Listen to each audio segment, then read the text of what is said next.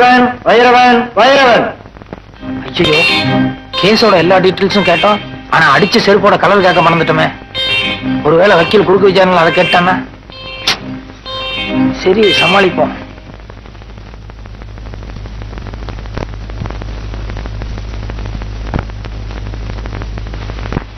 வலது கை வைங்க நான் சொல்றதையெல்லாம் அப்படியே திருப்பி சொல்லணும். சரி. கடவுள் சத்தியமாக கடவுள் சத்தியமாக நான் சொல்வதெல்லாம் உண்மை உண்மையை தவிர வேறொன்றும் இல்லை மிஸ்டர் நல்லக்கண்ணு சாட்சிய குறுக்கு விசாரணை செய்யலாம். ஏற்றுவரான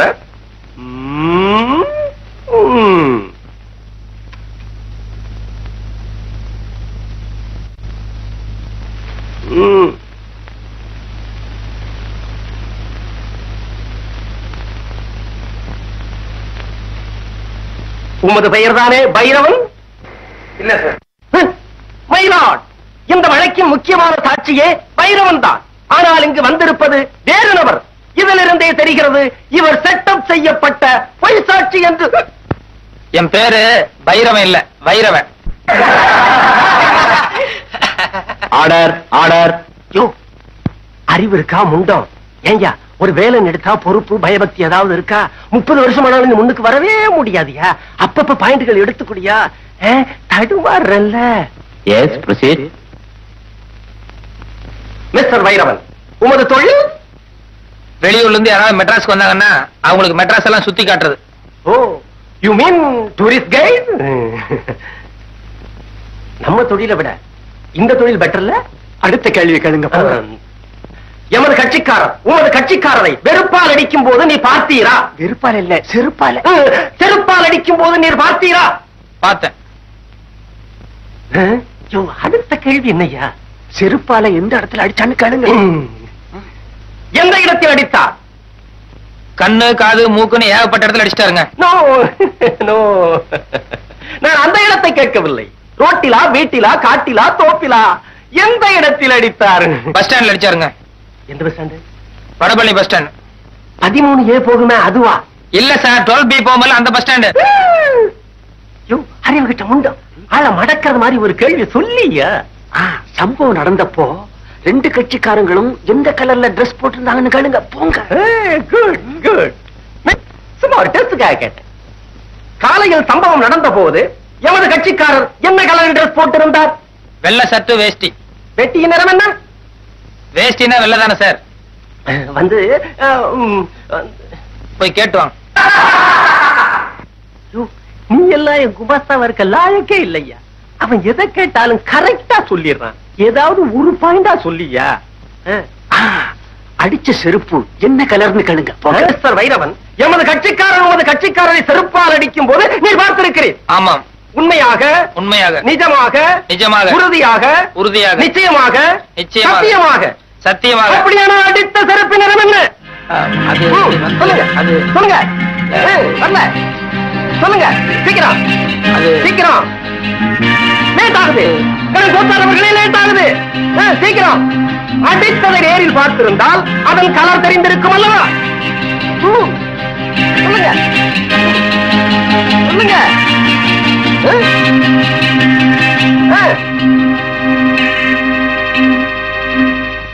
யுவர் ஆனர் வக்கீல் சார நான் கொஞ்சம் குறுக்கு விசாரணை செய்யணும். தயவு செய்து கோர்ட் இதை அனுமதிக்கணும்னு நான் உங்ககிட்ட பர்மிஷன் கேட்டுக்கிறேன்? குறுக்கு விசாரணையா? என்னையா? இது கோர்ட்டுக்கே அவமானம்.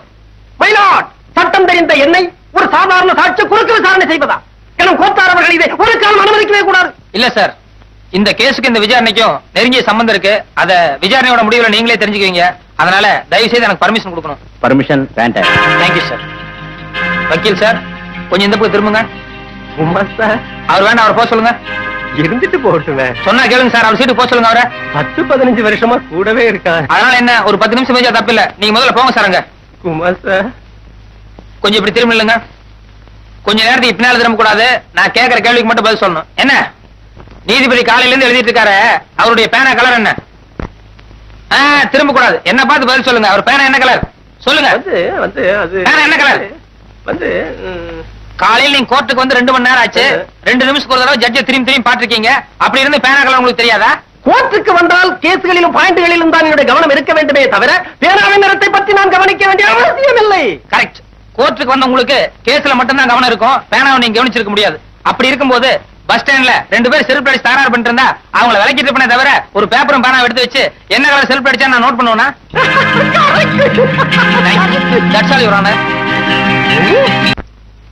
கும்பிடுறானுங்க ஊரு புளியம்பட்டி என் பேர் பண்டாரம் சினிமாவுல ஆயிட்டு கொடுக்கலான்னு வந்தேன். ஒருத்தன் எம்ஜிஆர் தெரியும் சிவாஜி தெரியும்னு கூட்டிட்டு போய் கையில இருந்த பணத்தையும் காசையும் புடிங்கிட்டு விட்டான். இப்ப சாப்பிட்டு மூணு நாள் ஆச்சு. கொஞ்சம் பணம் கொடுத்தா எங்க ஆச்சி டவுன பக்கம் வரும். கொடுத்து அனுப்புறேன். ஊர்ல அப்பனும் ஆத்தாளும் என்ன பண்றாங்க? உழவுதாங்க தொழில். கூட பிறந்தவங்க எத்தனை பேரு? மூணு ஆம்பளைங்க மூணு பொம்பளைங்க. அது நான் தாங்க மூத்தவன். ஏயா ஏர் ஓட்டுற தொழில பார்க்காம சினிமாவுல என்ன ஆயிட்டு வேண்டி கிடக்கு? வீட்டுக்கு மூத்தவேன்னு சொல்ற. கூட பிறந்த தங்கச்சிகளுக்கு கல்யாணம் பண்ணி வைக்கணுங்கிற பொறுப்பே இல்லையே. எல்லாம் தலை விதியா அங்க இருந்து வந்துட்டானுங்க சினிமாவுல நடிக்க. போயா.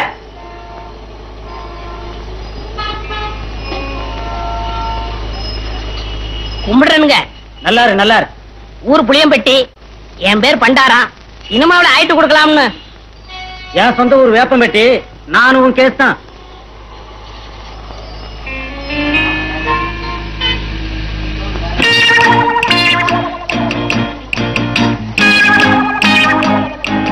மிஸ்டர் புளியம்பட்டி உங்களை தான் சார் நானா சார் வாங்க. நீ வாங்க.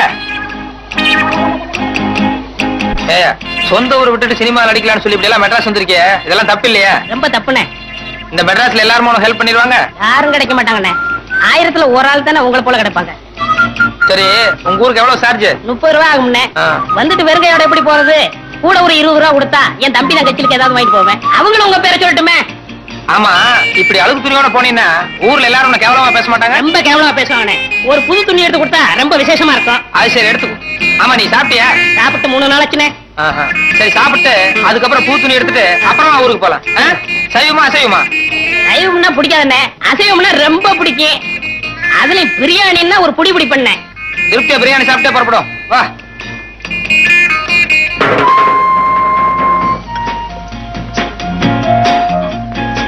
என்ன என்ன சாப்பிடுற? சூடா என்ன இருக்கு? அறை இருக்கு. ஏயா நேத்துல இருந்து ஒண்ணுமே சாப்பிடல ஒரே ஒரு இட்லி வாங்கி கொடுத்தா போதும் இப்ப சூடா கேக்குதோ? இல்லண்ணே ஆ? சாப்பிடுறோம். கொஞ்சம் சூடா சாப்பிட்டா நல்லா இருக்குமே. அதான்யா கொஞ்சம் இடம் கொடுத்தா போதுமே. தலைக்கு மேல எழுதிவீங்களே என்னப்பா என்ன இருக்கு? Parotta biryani chicken fry chicken masala fish item ginger chicken chilli chicken mutton fry mutton masala omelette நீ புதுசா? ஆமாங்க. அதான் திணறேன் சரி நான் சொல்ற மாதிரி செய்யு ரெண்டே ரெண்டு புரோட்டா மட்டும் எனக்கு எடுத்துக்கோ. இப்பதான் நான் வீட்டுல சாப்பிட்டு வந்தேன். இவருக்கு சிக்கன் பிரியாணி மட்டன் மசாலா அப்புறம் முட்டை பரோட்டா அப்புறம் மீன் கருவாடு. இன்னும் என்னென்ன இருக்கோ மனம் போல கொண்டு வா. சரி. அண்ணே சத்தியமா சொல்றேன்னே. என் வாழ்க்கையில உங்களை மறக்கவே மாட்டேன்னே. இது சத்தியம்னே. கவலையே படாத. நீ என்ன மறக்கவே முடியாது. ஏன்னா இந்த அளவுக்கு மெட்ராஸ்ல உனக்கு யாரும் செய்யவே முடியாது. அண்ணே ஊருக்கு போய் பணம் அனுப்புறேன்ன. உங்க அட்ரஸ் கொடுங்கண்ணே. அட்ரஸா நோ நோ எனக்கு விளம்பரம் எல்லாம் பிடிக்காது. நான் எப்பவும் பிரதிபலன் எதிர்பார்க்க மாட்டேன். சில நேரங்களில் அதான் தேடி வர்றது உண்டு. இன்னும் நேரம் ஆக ஆக என் பெருந்தன்மையை பத்தி நீ தாராளமா புரிஞ்சுக்குவேன். ம்,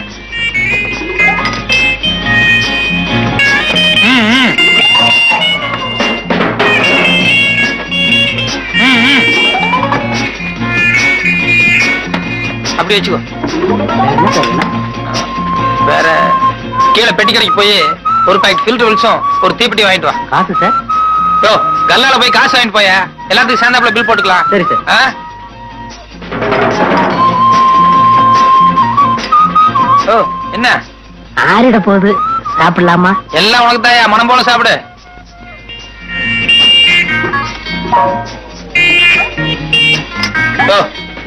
ஒரு கையால சாப்பிடியா நிறுத்தி நிதானமா சாப்பிடு. ஒன்னும் அவசரமே இல்ல.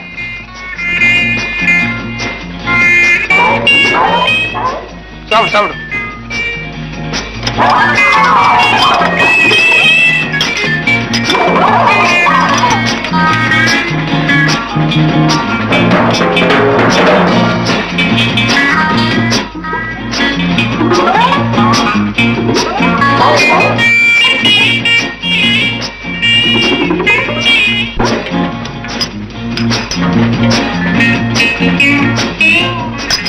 Sir bill.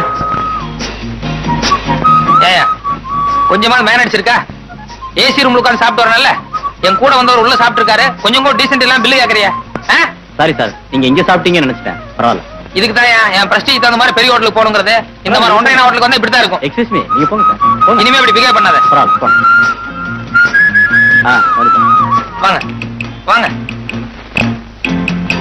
போ.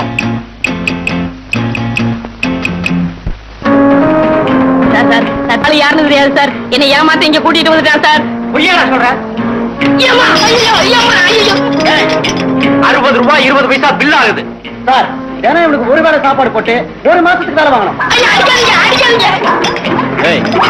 நீ சாப்பிட்டது கூட பெருசு இல்ல உன் கூட வந்தானே தோஸ்து. அவன் என் ஹோட்டலை பார்த்து ஒன்றே ஹோட்டல்னு சொல்றான்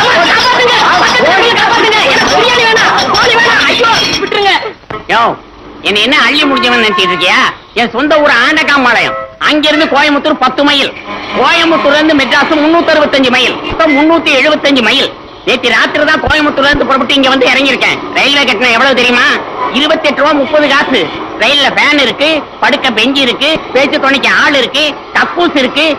பன்னிரெண்டு மணி நேரம் விடிய விடிய ரயில ஓட்டி காலையில கொண்டாந்து விட்டுருக்கான் அவனே இருபத்தெட்டு ரூபா முப்பது காசு வசூலி பண்றான். நீ என்னடான்னா இந்த மெட்ராஸ்ல இருக்கிற பர்மா பஜாரு என் பையன் படிக்கிற காலேஜ் அங்க இங்கன்னு சுத்தி ரெண்டு மணி நேரம் உன் வண்டியில இருந்ததுக்கு இருபது ரூபாய் அப்பா நீ சம்பாத்தியம் பண்ணதுன்னு நினைச்சிட்டு இருக்கேன் என்ன என்ன எழுத்து நினைச்சிட்டு இருக்கியா?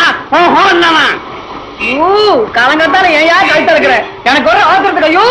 யோ ஆட்டோக்காரர எவனாவது ஒருத்தன் கிராமத்துல இருந்து மெட்ராஸ் வந்தா இப்படித்தான் மிரட்டா அவர் கொடுக்கறத வாங்கிட்டு போயா? ஏன் அப்படி எல்லாத்துக்கும் தகராறு பண்றீங்க? மெட்ராஸ் பேரையே கத்துறீங்க போல இருக்க. பாத்தியா? யோ நமக்குள்ள பெரிய மனுஷனா நீ பெரிய மனுஷனா? ஐயோ! யோ உன்கிட்ட பேசுறது எனக்கு சக்தி இல்லையா? இப்ப எவ்வளவு தாயா தர்றேங்கிற? இந்த பாரு தம்பி நான் இருபது ரூபா தர்றது அங்கிருந்து எட்டு ரூபா தான் நான் போய்க்கிறேன். இங்கே இறங்குறத நான் ரெண்டு ரூபாய்க்கு மேல ஒரு பைசா தர மாட்டேன். ஐயோ இன்னைக்கு யாரு முகத்துல முடிச்சனோ ஐயோ ஐயோ. இந்தாயா வச்சுக்கையா இந்தாயா வச்சுக்கையா. போயா ஊர் வைக்காரியா சாப்பிட்டு சாப்பிட்டு என் பேர சொல்லி ஊர் வைக்காரியா போயா. நல்லா போயா. ஐயோ ஐயோ ஐயோ ஐயோ ஐயோ ஐயோ.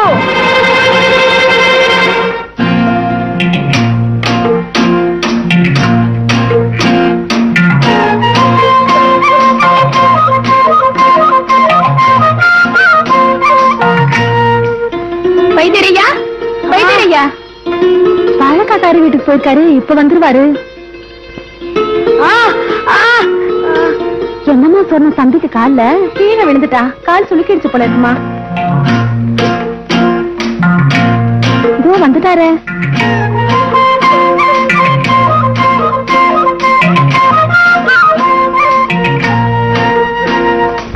காலை சுளுக்கிட்டான் போல இருக்கு. அதான் மந்திரிச்சுட்டு போலான்னு வந்தேன். கொஞ்சம் வேப்பங்க வேண்டா ஊத்திக்க.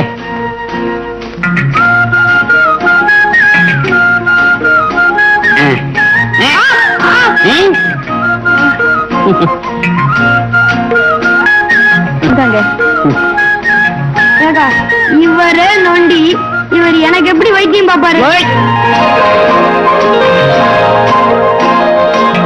சார் சார் கொஞ்சம் நில்லுங்க சார். சார் உங்க பேர் முனுசாமி தானே? ஆமா. உங்களுக்கு பூர்வீகம் குடிமுத்தூர் கிராமம் தானே? ஆமா. ஏப்பா என் ஊரு பேரு சொல்றியே நீ யாருன்னு எனக்கு தெரியலையே. அதே குடிமுத்தூர்ல பதினஞ்சு வருஷத்துக்கு முன்னால காளி முதலியான்னு ஒருத்தர் இருந்தாரு. அவருக்கு சொர்ணம்னு ஒரு பொண்ணும் வைரவன் ஒரு பையன் இருந்தாங்களே அவங்க உங்களுக்கு ஞாபகம் இருக்கா? ஆமா சொர்ணம் வைரவன். ஆமா ஞாபகம் இருக்கு. அவங்களுக்கு நீ என்ன வேணும்? அந்த சொர்ணத்தோட தம்பி வைரவன் நான் தாங்க. சொர்ணம் தம்பி வைரவன் நீயா? ஆமாங்க. நீ எத்தனை வருஷமா மெட்ராஸ்ல இருக்க? பன்னெண்டு பதிமூணு வயசுல இருந்தே மெட்ராஸ்ல தான் இருக்கேன். போடா பைத்தியக்காரா. உனக்கு கொஞ்சமாவது குடும்பம் பாசம் அக்கறை ஏதாவது இருக்கா? இத்தனை வருஷமா மெட்ராஸ்ல சுத்துற? ஒரு தடவையாவது உங்க அக்கா எப்படி இருக்கான்னு போய் பாத்திருக்கியா எங்க அக்கா தான் ஆத்துல மூலிகை செத்து போச்சுங்களே. போடா ஈவன உங்க அக்கா உயிரோட தான் இருக்கா. யோ பெரியவரா. இங்க வாங்க. அதோ அந்த குளத்துல ஜனங்கெல்லாம் காசு போட்டுக்கிட்டு இருக்காங்களே. அங்க என்ன விசேஷம்? அதுக்குத்தான் சனிக்குளம்னு பேருப்பா. அந்த குளத்துல காசு போட்டா அவங்க கொஞ்ச பாவமெல்லாம் தீரும்னு காசு போடுறாங்கப்பா. ஓஹோ அப்ப அந்த குளத்துல நிறைய காசு இருக்குன்னு சொல்லுங்க. அந்த குளத்துல நிறைய காசு இருக்குப்பா.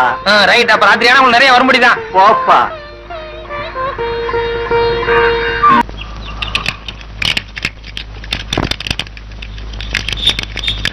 வணக்கம் சார் சைக்கிள்லாம் வெளியே போயிருக்குங்க. சைக்கிள் இல்ல.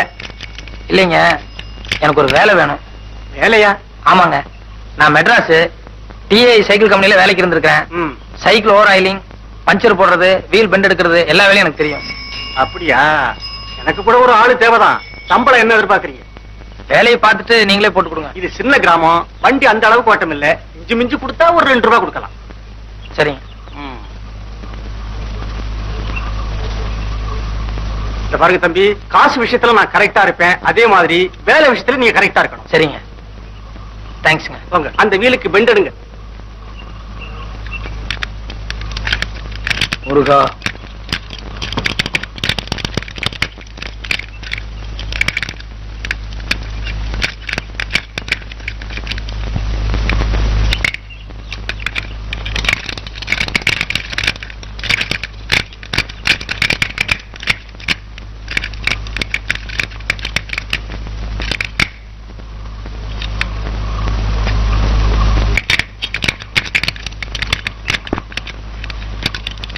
என்ன சார் சாவி இல்லைங்களா?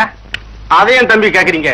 என் மச்சன கடையில வச்சிருந்தேன். அவன் சாவியை எங்கோ தொலைச்சிட்டான். காலையில இருந்து திறந்து திறந்து பாக்குறேன் திறக்க முடியல. இது கொடுங்க. இது சூப்பர் லில்லி பூட்டு தானே? ஆமாங்க. இந்த பூட்டுக்கு இப்படி பெண்ட் பண்ண கூடாதுங்க இன்னும் கொஞ்சம் கூட பெருசா இருக்கணும்.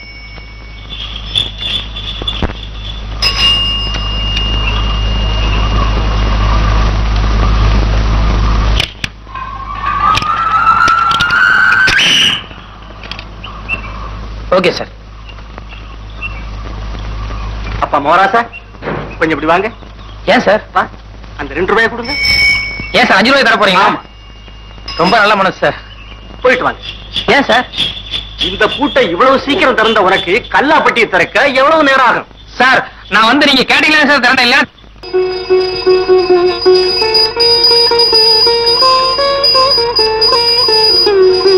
ஆ,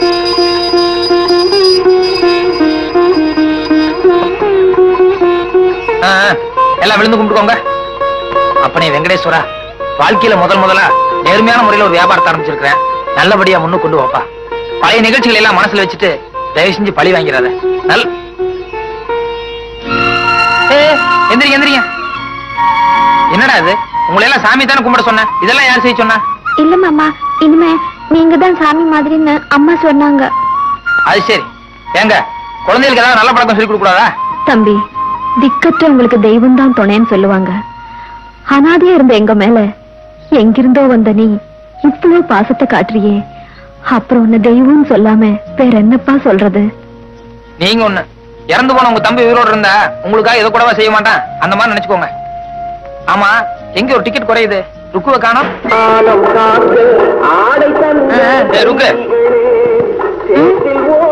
வியாபாரத்துக்காக முதல் முதல்ல வெளியூர் போறோம்ல கொஞ்சம் வாசல் வரைக்கும் வந்து வழி அனுப்புறாதா? யோ. அதுக்கெல்லாம் இன்னும் கொஞ்சம் நாள் ஆகட்டும். முதல்ல போய் வியாபாரத்தை கவனி. தப்புதாங்க. நீங்களும் ராத்திரிக்கு வந்து எங்கிட்ட கொஞ்சுவீங்கல்ல அப்ப பேசிக்கிறேன். போயா. ரெடியா சார் ஆசானா. மாமா. அப்ப நான் போயிட்டு வரேங்க. பார்த்து நிதானமா போ தம்பி. டாடா மாமா. டாட்டா மாமா. Tata tata. Tata tata. Tata மாமா. ஏண்டா எதிர்த்த வீட்டுல முறுக்கு வியாபாரம் நடக்குதே? எப்படி? நல்லா இருக்குமா? இன்னைக்கெல்லாம் சாப்பிட்டு இருக்கலாம். அவ்வளவு நல்லா இருக்கு. அப்படியா? சுத்துறது யாராரு சொர்ணா. சொர்ணத்தோட பொண்ணு. குப்பாய் பேத்தி ருக்கு. அப்போ நமக்கு போய் சாப்பிட வாங்கி தட்டுமா நமக்கு இல்லடா. நான் சாப்பிடணும். நானும் சாப்பிடணும். காசு ஏது?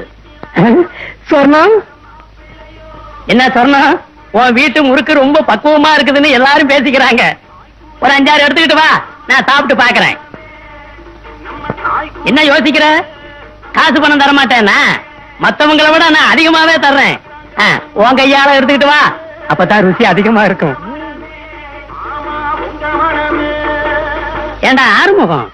எதுத்த வீட்டுல ஒருத்தன் குழாயும் கலாயும் மாட்டிக்கிட்டு திரியறானே. யார் அவன்? என்னமோ அக்கா தம்பின்னு சொல்லிக்கிறாங்க. ஆனா படுத்துக்கிறது வீட்டுக்குள்ளதான். ஒருவேளை வீட்டுக்குள்ளேயே வச்சிருந்து அப்புறம் மருமகனை ஆக்கிப்பா? மருமகன் ஆக்கிட்டு அப்புறம் வச்சுக்க கூடாதா? அத படுத்துக்கிட்டு போத்தினாலும் சரி போத்திக்கிட்டு படுத்தாலும் சரி கணக்கு ஒண்ணுதானே? வர்றா வர்றா வர்றா ஆகா. யோ, யோ, யோ, யோ, வர்றாயா வர்றாயா? முறுக்கு கொண்டுட்டு வர்றா. ருசியா இருக்கு. தரேன் தரேன் உங்களுக்கு ஐயரே சொர்ணமே தான் கையால கொண்டுட்டு வந்துட்டா. என் மேல உள்ள பாசம்.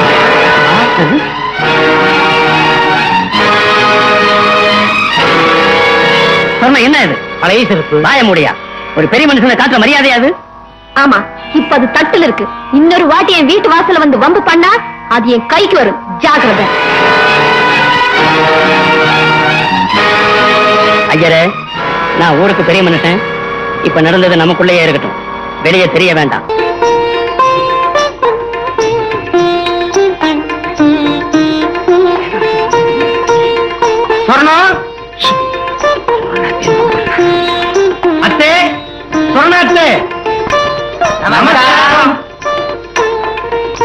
சௌக்கியமா இருக்கீங்களா அத்தே? இதனால நம்ம மங்களத்தை செங்கோட பரிசு போடணும்னு ஆசைப்பட்டாரு. நாங்க பெரிய மனுஷங்களாம் சேர்ந்து இதை வாங்கிட்டு வந்திருக்கோம். முருகப்பண்ண ஜெயிலுக்கு போய் நீங்க ஆதரவு இல்லாம கஷ்டப்படுறத நினைச்சு எங்க செங்கோடன ரொம்ப மனசு நொந்து போயிட்டாரு. இந்த குடும்பத்துக்கு ஏதாவது ஒரு நல்ல காரியம் செய்யணுமேன்னு ராப்பகலா என்கிட்ட ரோசனை கேட்டாரு. நான் தான் இந்த ரோசனைய சொன்னேன். அப்பன் ஜெயிலுக்கு போனால அடுத்தவன் பொண்ணுக்கு பரிசம் போட தயக்கப்படுவான். அப்படியே போட முன் வந்தாலும் எக்கு தப்பா சீர்கப்பான் இதையெல்லாம் யோசிச்சு தான் நம்ம செங்கோடன் பொண்ணை கட்டிக்கிறதா முடிவெடுத்துட்டாரு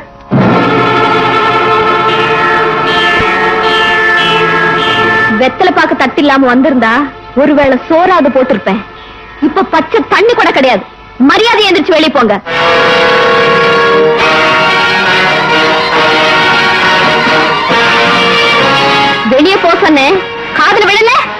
வார்த்தையை அளந்து பேச சொல்லணும். ஏதோ சொந்த பந்தம் விட்டுடக்கூடாதுன்னு வாசல் தேடி வந்தா மரியாதை எல்லாம் பேசுறியே? அன்னைக்கு அரசு மரத்தடியில அனாதையா ஆதரவு இல்லாம கிடந்தப்ப காட்டாத அக்கறை. இப்ப என்னையா வந்தது? அன்னைக்கு எங்களை சொந்தக்காரங்கன்னு காட்டிக்க நீ வெக்கப்பட்ட. இன்னைக்கு உன்னை சொந்தக்காரங்கன்னு சொல்லிக்க நாங்க வெக்கப்படுறோம். என் பொண்ணுக்கு எப்படி மாப்பிளை பார்க்கணும்னு எனக்கு தெரியும். முதல்ல நீ இடத்த காலி பண்ணு. ஓஹோ மரமாப்பிள நான் இருக்கும்போது இன்னொருத்தன் வீட்டுக்குள்ள காலடி எடுத்து வச்சிருவானா? வச்சா என்ன செய்வ?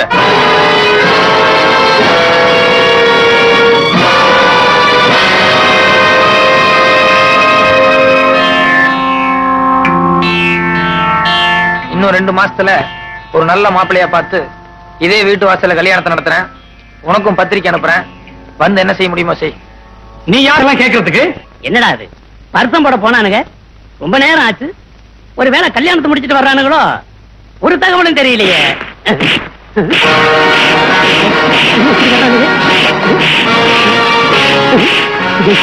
என்னடா அது? பருத்தம் போட போனானுங்க. பார்த்தல் மாதிரி உருண்டுகிட்டு வர்றானுங்களே. Thank you.